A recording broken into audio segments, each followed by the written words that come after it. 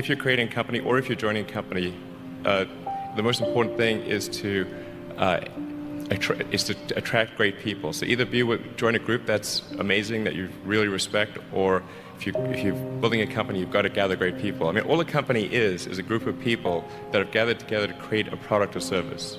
And so, depending upon how talented and hardworking that group is, and the degree to which they are focused uh, cohesively in, in a good direction, that will determine the success of the company. So, do everything you can to, to gather great people uh, if, if you're creating a company. Um, then I'd say focus on, on signal over You noise. put two or three full grown men in the same room with the same goal, you'd be amazed what gets done. But if you take two or three men and they all wake up in the same place and they say, you know what, we're going to get strong and I'm going to be stronger than you. And the other one goes, no, I'm going to be stronger than you. So, all right, then let's go. Maybe you're not the strongest of the three, but you're certainly stronger than you were when you started. Hmm. Men are born to compete. This is what we were born 20 to do. friends. You just need three motherfuckers and you can take over a country. Okay, that's what we're confused as Americans. We think we need all these motherfuckers. You give me three bad motherfuckers and you're finished. You understand me? great at figuring out how to divide things up into these great teams that we have and all work on the same thing, touch bases frequently, and bring it all together into a product. We do that really well.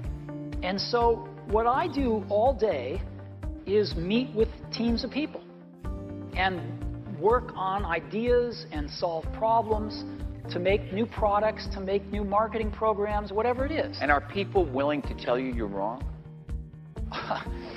yeah. I mean, other than snarky journalists. I mean, people that Oh, work yeah. No, we have wonderful arguments.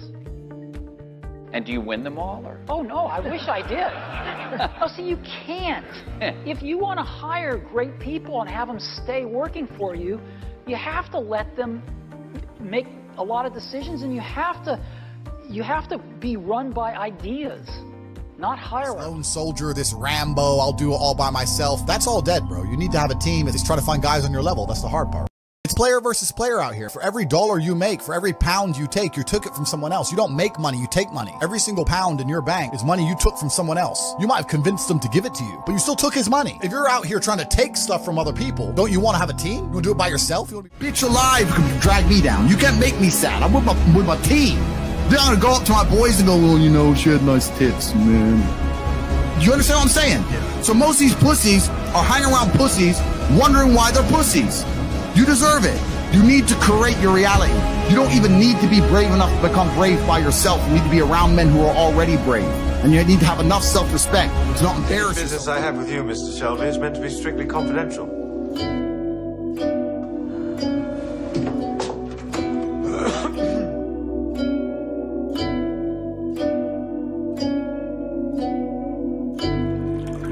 You're still not alone. My brother and I are the same person. Почему я играю маму? И весь эти заботы, всю эту работу ты делаешь ради меня